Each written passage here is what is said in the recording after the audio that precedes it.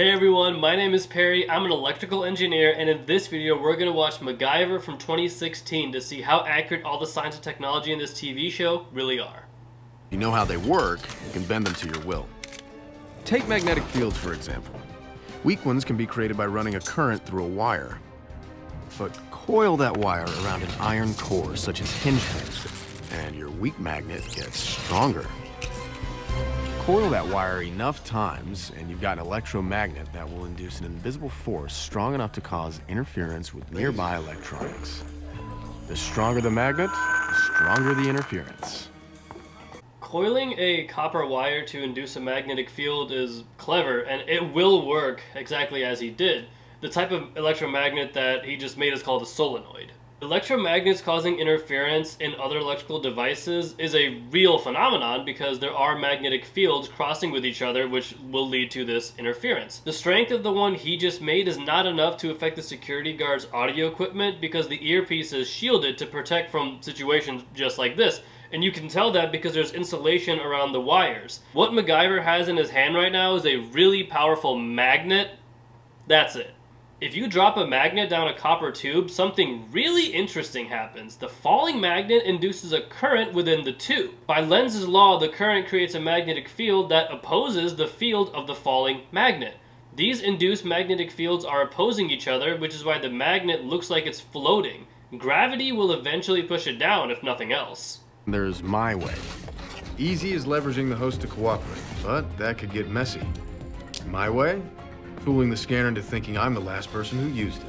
You see, every time we touch something, we leave a little of ourselves behind. That's because our skin contains salts and oils that are transferred onto the object. Add a little plaster dust to enhance the print, the pressure of a firm hand, and voila. That's not gonna work at all. He he didn't even put the plaster dust over the parts where the scanner will actually scan for the information.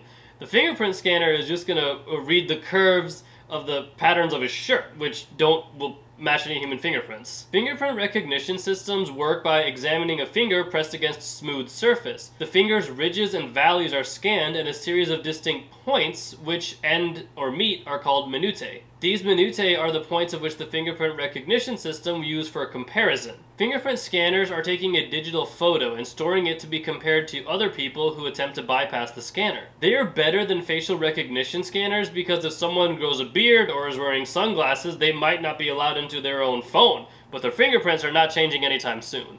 To the internet? Using this, I can access every traffic cam, ATM cam, and unsecured surveillance cam on the West Coast. Is that real? It doesn't sound real. I'm inputting Kendrick's photo and running an image search.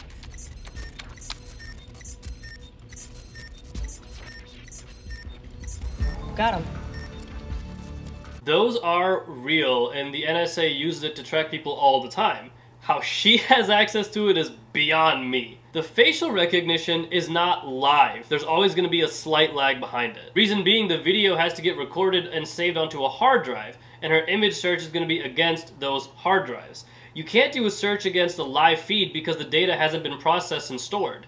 It's also going to take more than a couple seconds, even for a supercomputer to process all that information. Videos are pretty heavy data files, and scanning through them takes a while. There's also interference in the form of weather. If it's foggy or raining, the feed won't be as great, and the video will be really grainy, making it much harder for the software to actually do a facial comparison. Running facial recognition technology like this will provide someone's recent whereabouts, but not where they are in the moment. For that information, it's better to trace GPS in their phone and run that location against cameras in the area to verify that the phone wasn't just handed off or tossed in the trash or on a moving vehicle.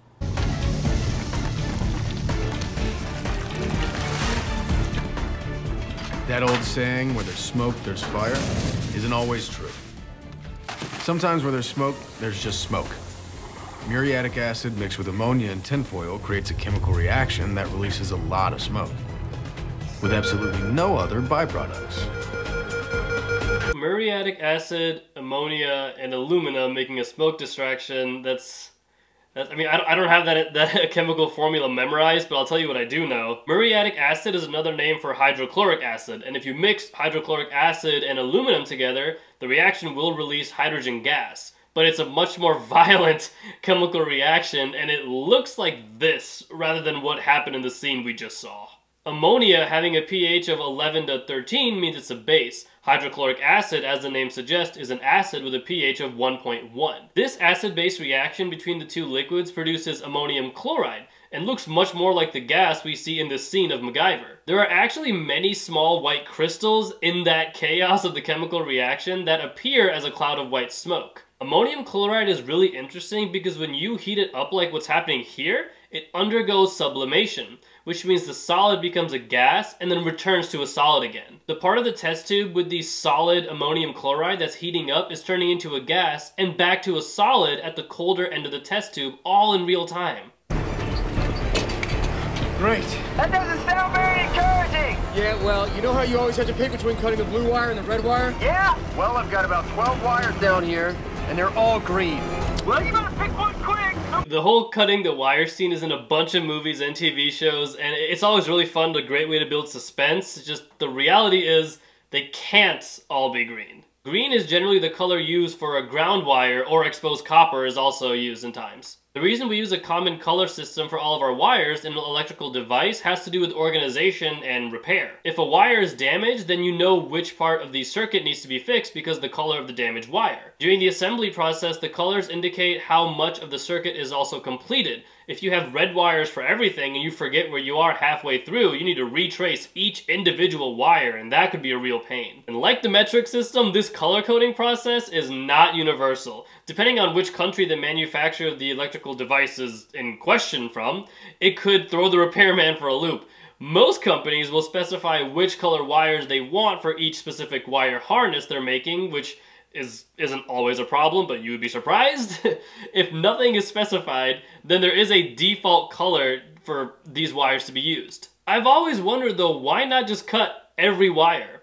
It will completely break the circuit and no power is transferred anywhere the bomb will never go off. If you only had to cut one wire, usually the green will work because the circuit will have no ground and it'll just short or completely fail. The original show MacGyver aired on ABC for seven seasons from 1985 to 1992. All of MacGyver's exploits on the show were vetted by consulting scientists for the show's writers to ensure a basis on scientific principles. In the few cases where MacGyver used household chemicals to mix poisons, explosives, or other items deemed too dangerous to be accurately described to the public, details were altered or left vague, or an essential component of the step was omitted. The show's writers based MacGyver's inventions on items they found on location.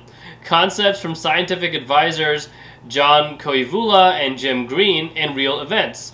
The show offered up a monetary prize to people who sent good ideas for the show. A young fan suggested that MacGyver could patch up a vehicle's radiator by cracking an egg into it. The episode Bushmaster was constructed around this trick and the fan was rewarded. The word MacGyver, however, entered the Oxford dictionaries in 2015 as a verb meaning make or repair, specifically an object, in an improvised or inventive way making use of whatever items are at hand. Thank you guys so much for watching. If you want to see more MacGyver, let me know in the comment section down below.